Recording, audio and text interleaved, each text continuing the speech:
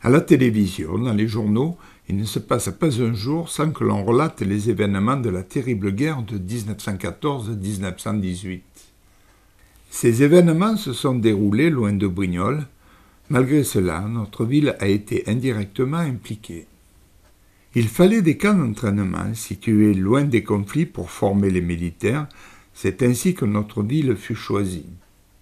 En 1912, un hôpital militaire fut construit. Il était situé à l'emplacement des actuels HLM route de Nice. Il fut détruit lors des bombardements de 1944.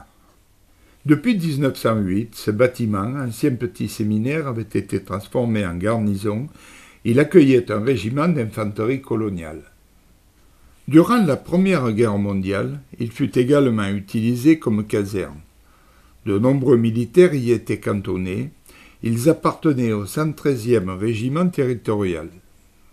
D'autres régiments furent accueillis en ces lieux.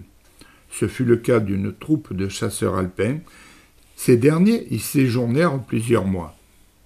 Le palais des comtes de Provence fut également utilisé comme caserne. Il en fut de même pour le théâtre implanté dans l'ancien couvent des Cordeliers. J'ai retrouvé quelques photos prises par les militaires ayant séjourné à Brignoles. Elles évoquent l'ambiance de l'époque. N'ayant plus de photos à vous présenter, j'arrête là cette vidéo. J'espère que vous avez aimé si c'est le cas, faites-la suivre à vos amis. Merci d'avance.